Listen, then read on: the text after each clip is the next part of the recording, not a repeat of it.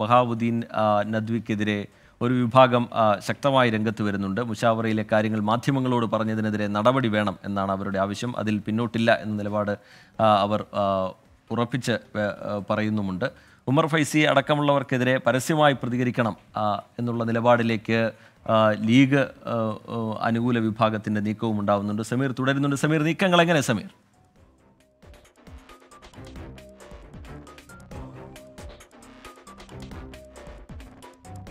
സമസ്ത മുഷാവറയിലുണ്ടായ വാഗ്വാദങ്ങളിൽ പ്രതികരിച്ച ബഹാവുദ്ദീൻ മുഹമ്മദ് നദ്വിക്കെതിരെ ഒരു വിഭാഗം രംഗത്ത് വരികയാണ്. നേരത്തെ തന്നെയുള്ള പ്രശ്നങ്ങൾ അത് കൂടുതൽ രൂക്ഷമാവുന്ന നിലയിലേക്ക് കാര്യങ്ങൾ പോകുന്നു. മുഷാവറയിലെ കാര്യങ്ങൾ മാധ്യമങ്ങളോട് പറഞ്ഞതിനെതിരെ നടപടി വേണം എന്നുള്ളതാണ് ഉയർന്നു വരുന്ന ആവശ്യം. എന്നാൽ ഉമർ ഫൈസി അടക്കമുള്ളവർക്കെതിരെ പരസ്യമായി പ്രതികരിക്കാനാണ് മുസ്ലിം ലീഗ് അനുകൂല വിഭാഗത്തിന്റെ നീക്കമുണ്ടാവുന്നത്. സമീർ ബിൻ കരീം വിവരങ്ങളുമായി ചേരുന്നുണ്ട്. സമീർ വിവരങ്ങൾ സമീർ.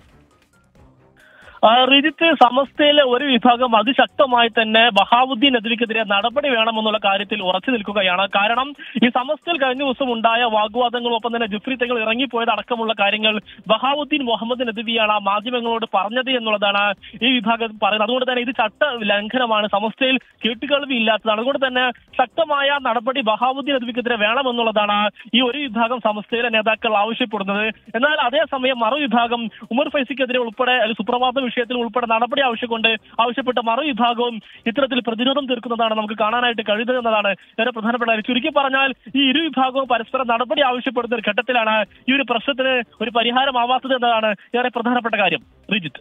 സമീർ ബിൻ കരീം മലപ്പുറത്ത് നിന്ന് വിവരങ്ങൾ നൽകുകയായിരുന്നു.